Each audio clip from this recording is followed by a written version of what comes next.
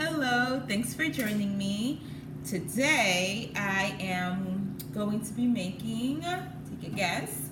Well, if you saw the bottom of my, the title of this video, you would know is butternut squash. There are two things that I crave in the winter, hot chocolate and soup, right? And the other day, um, my neighbor, I could smell, she was making, but he or she was making butternut squash and I could smell the aroma of it seeping through the door. So as I was walking down the hallway, so like ever since then I've been craving butternut squash. So I found this recipe on I think it's cooking.newyorktime.com. I'll put the name at the bottom along with the recipe. And so I got this recipe. I'm going to try it today. One thing about me and recipes, I don't always follow it exactly like I should. I kind of sometimes tweak things or add more or less than what they suggest. So I'm going to make it my way and I'll also have the actual recipe at the bottom in case you want to make it exactly like the like their way. And so with that being said, I'm going to review all of the ingredients, or most of them are probably, oh no, I just spilled the olive oil. Oops. Um, I'm going to show you most of the ingredients and then we will begin. All right, as you can see, I pre-sliced and portioned out the recipe needed for the the ingredients needed for the recipe. I have asked for either three tablespoons of butter or three tablespoons of oil. I did two tablespoons of butter and one of oil. Um, I mixed all the seasoning here that they required. You have over here the ginger, the garlic, one clove of garlic, the onion is slightly under one onion. I had to use half a portion of it to make um, dinner last night, so it's not a whole onion, but we're gonna work with what we got. I'm gonna start off with three cups of um, vegetable oil, vegetable stock. It asks for five. I'm gonna see how three does for me. It also recommended uh, two. It asked for a whole butternut squash sliced up, about two pounds worth. I bought this because I don't enjoy cutting up butternut squash. If you've ever done it, it's so tedious. So I just got it pre-sliced to make my life a little easier because I don't have time to slice it up. So it says it's one pound worth, but we're just gonna go with it because it looks like it can be a large butternut squash equivalent. So we'll see what happens have um, raw cashew over here, a cup worth of that. And um, that's some of the ingredients. We're going to begin and we will see what happens. Oh, okay. So it says I'm gonna put the two tablespoons of vegan butter in there one tablespoon of olive oil. They say to have it under medium heat, so in a big um, pot. So that's what we're doing. Then from there, they say to add the onions. So here comes the onions. Okay, that's all the onion I have to provide. Just gonna mix it all up. Okay, the recipe says to have it cook for five minutes and then add the cashew and cook that and stir it in till the onion becomes translucent.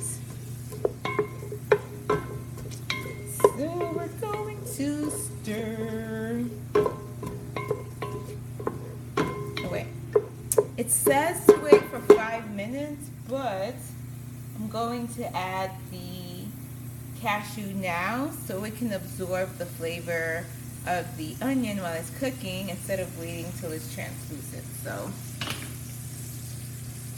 that's what I'll do. Here comes the cup of raw cashew.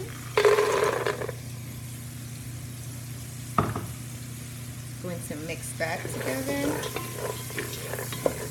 And I'm gonna let that cook for five minutes. Stirring it up. Look at that. It's cooking well, huh? All right, there's two minutes left before I add any other items, but I'm going to add the garlic, although they said to wait for the full five minutes. I kind of want the, the garlic to participate in this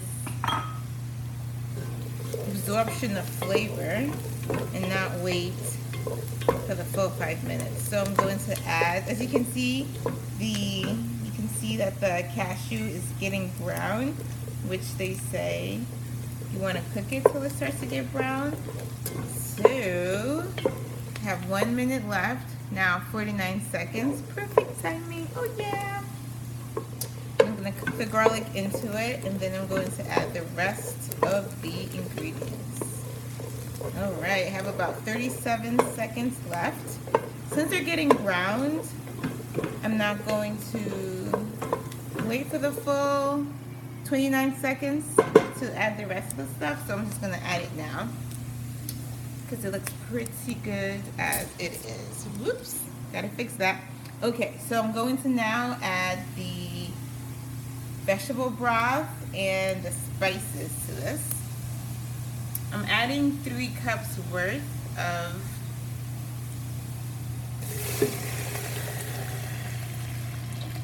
vegetable broth. It asks for five, but oh, that's my timer saying to add the other stuff.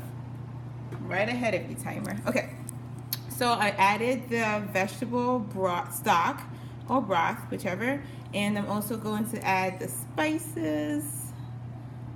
This is the spice concoction. It's turmeric, coriander, curry, um, cumin. I think that's all of them. If I'm missing something, then just check the ingredients and you'll see all the uh, spices. Okay, from there, I'm going to now add the ginger. Oh my gosh, I love ginger. With this ginger, they ask for two two tablespoons worth. I have about one and a half instead of two. Just because I didn't, I felt like, you know, I cut into pretty big chunks to start to mince it and I felt that one and a half should be plenty. But if you like to follow rules, put two tablespoons worth. Okay. And now I'm going to add the butternut squash. Here it goes.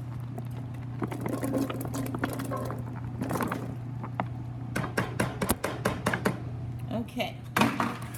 Butternut squash is added. I'm going to mix that in. Okay. Looking at it, I feel like adding the additional, no, I'm to add one cup.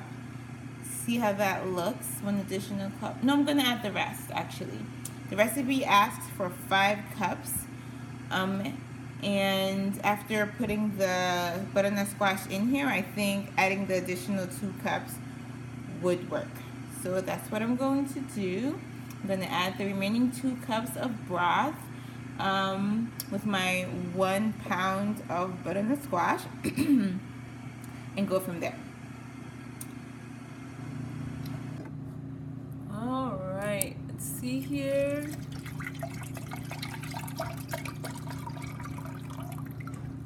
Okay, so this box only had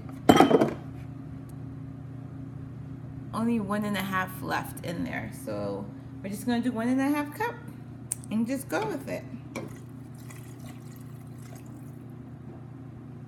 Okay, so instead of five cups of vegetable broth, I'm doing four and a half because this container here only provided four and a half worth. So that's what we're gonna go with. Now the recipe says you add salt and pepper um, to your liking. So just add as much, not as much because you don't want it to be super high in sodium. So you're just going to play around with the salt and pepper and see um, how it tastes and then go from there, okay? So that's what I'm about to do and we'll see what the next step is. Oh, all right, so I just added one teaspoon of salt into this and did the taste test and it tasted really well with the one teaspoon. So that's an option if you want to put one teaspoon of salt in there. Uh, and I just sprinkle in some pepper. Then now it says in the recipe that you bring the soup to a simmer, reduce the heat to low, cover the pot, and cook the soup until the squash is easily pierced with a knife. 20 to 25 minutes. Okay? All right, so I guess that's what I'm about to do right now. I'm gonna set my timer for 20 minutes to check it. And then if it still needs cooking, I'll add the additional 25, additional five. Okay, so that's done. I'm just going to let this get into a simmer and then I'm gonna cover it up and then we'll figure out what the next step is. I think the next step is to put this all in a blender. So that's what we're gonna prepare for. This butternut squash soup. Okay, I'm gonna put the cover on and see what we're gonna do next. All right, I'm going to check on, there's about five minutes left. I'm gonna check on the butternut squash, do the fork test and see if it's soft.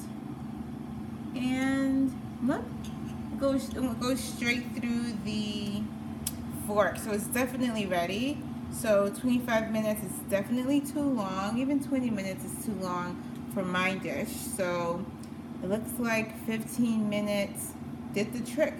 So I would suggest that you check your butternut squash 15 minutes into it and um, if it feels if it's cooked then you can you don't have to cook it for the whole 20 to 25 minutes so it doesn't get too soggy so I'm going to turn it off right now it's cooking on low I'm going to turn it off uh, the recipe says now that I have to let it sit for 15 minutes.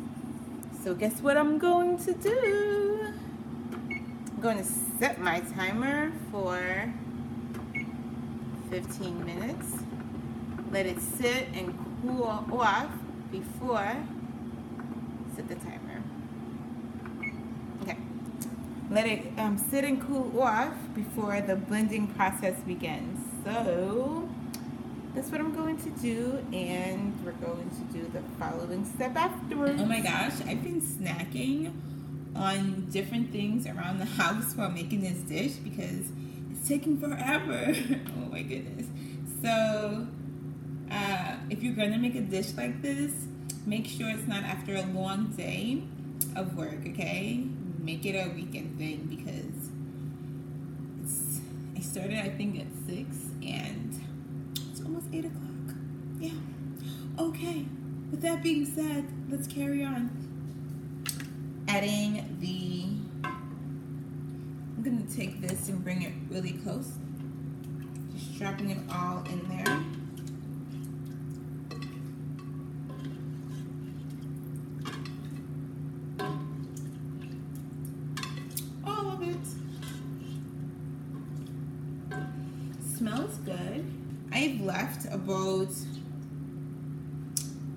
Cup and a half worth of um, the mixture still in here. I, I try to take as much as the sweet potato, not sweet potato, butternut squash, cashew, and onion, as much as that as possible. But the liquid itself, I left about, you can't see it at this angle, but I left about a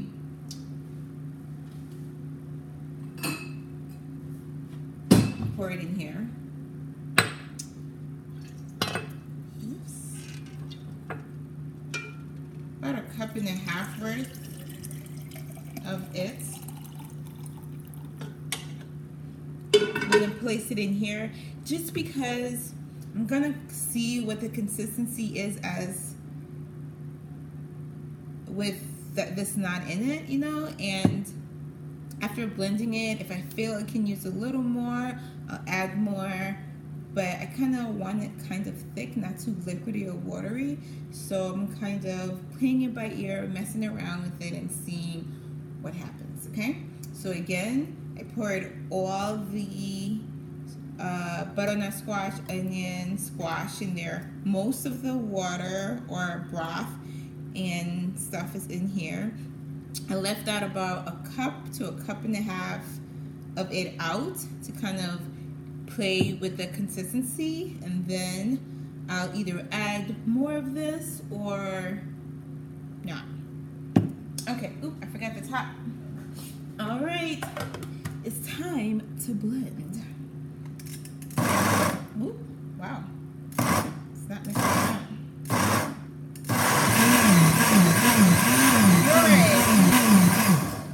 Okay. Ooh. Oh, wow. Okay, that was messy. Oops.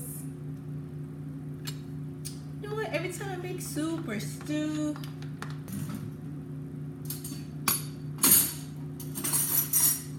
okay, this is the current consistency now, right? Kind of looks like baby food. I'm gonna do a taste test. I'm gonna taste it real quick. Mmm, not bad. Okay, now I think I blended enough. Didn't require that much blending.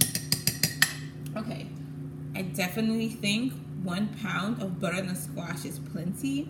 I don't know what they were talking about when they said to put two pounds worth because that would have been too much.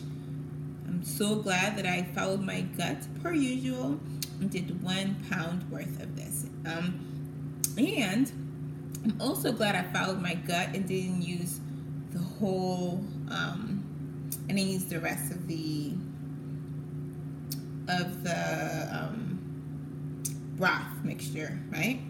Because I like the thickness and the consistency that it is right now,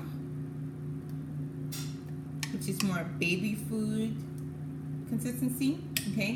Now what I'm going to do is, mm, I'm so hungry, I'm kind of eating it now. Don't judge me. Don't judge me, people. Okay. Now, I'm to pour everything. Ooh, it's good. You can really taste the, um, the ginger. Oh, yeah. I'm excited. Okay. So I'm to take the mixture. I'm going to place it back in the pot. And I'm going to add the coconut milk. And then I'm going to let that cook. They say 15 to 20 minutes, but listen here, I am hungry and I don't have time to wait for 20 minutes. So we're gonna check in at about eight to 10 minutes. That's what I'm gonna, that's what I'm gonna do, okay. All right. Oh, my hands are so messy. okay. All right, like I said, I made a mess, so please ignore mess. Okay, I'm going to now pour the butternut squash, squash concoction in here. Ooh, wee. Yummy. It looks so good. I don't want any of it to go to waste, so I'm trying to get as much of it as possible. Okay, looks pretty empty to me, right? Okay, now, ooh, it's bubbling. It's bubbling like crazy. I'm gonna lower the heat, put it on low. Then I'm going to add the spoonful, not spoonful, cupful of coconut milk. Whoa, this thing is popping like crazy. I'm gonna put it on low because, okay. Now I'm going to mix it all together like so. Oh, it looks so pretty. Looks so pretty. Mmm. Okay, perfect. Okay, I'm gonna let this cook on low for, I'm gonna do 10 All right, so it's been 10 minutes and um, it's ready. Uh, I sprinkled a little bit of salt to it. I added just a few drops of salt for flavor. And now I'm about to taste it. Moment of truth.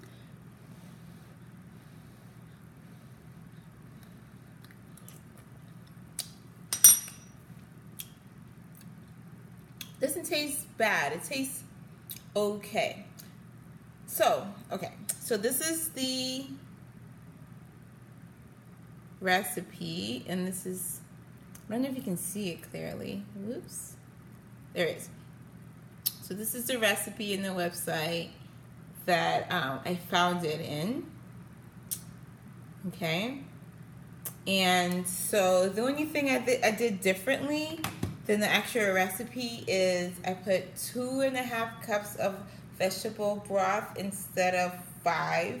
I mean, I put four and a half cups of vegetable broth instead of five. I've had one pound of butternut squash instead of two pounds. And I, what else? Uh, the ginger, I put two and a half tablespoons instead of two tablespoons of minced ginger. I didn't add the, it wanted me to add something and I didn't add it because I forgot to buy it and rosemary, one spring of fresh rosemary it asked for that. I didn't do it because I forgot to add it, and I figured it's just rosemary. Um, and when blending, I removed this much worth of the liquid when blending it. Um, so those are the only changes that I've made. I have to say, tasting it before I added the coconut milk and after, I kind of prefer it without the coconut milk. I think the coconut milk was pretty, was overpowering, and that's really what you taste um, now, as opposed to tasting, still tastes fine. Just doesn't have the flavor I was wanting, you know? So, still gonna have it for dinner and I'm still going to enjoy it. It's a lot in here. It's probably enough for like three days. But yeah, give it a try and see how it turned out for you and how you liked it. And hope you enjoyed this video and found it helpful. Be sure to hit subscribe button